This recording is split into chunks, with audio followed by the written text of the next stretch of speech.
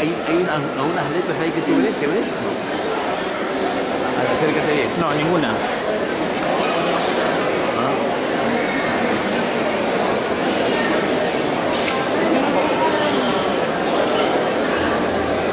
Una letra, yo no veo ninguna letra. No veo ninguna letra. No hay padre.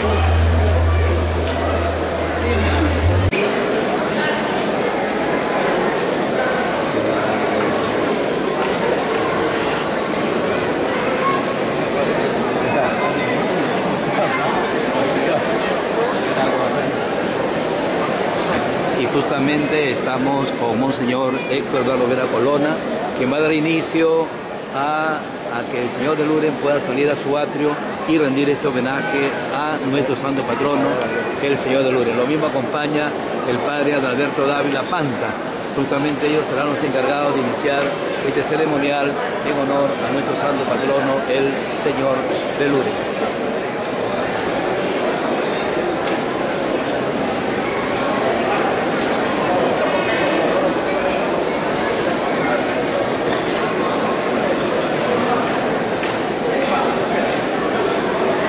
Ya, ya dio la orden. Lo mismo, le voy a dar orden.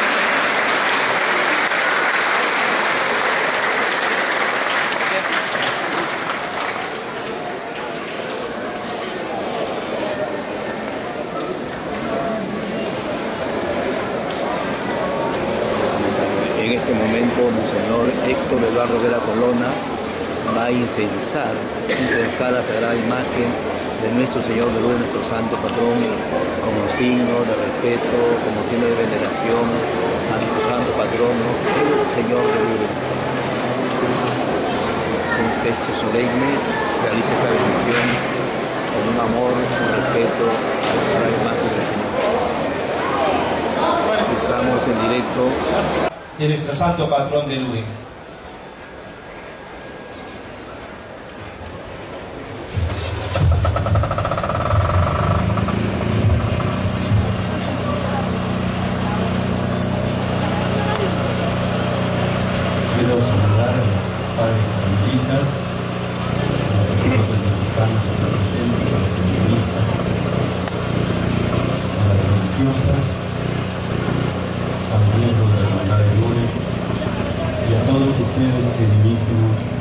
Queridísimas hermanos y hermanas, en Cristo nuestro Señor y en María nuestra Madre.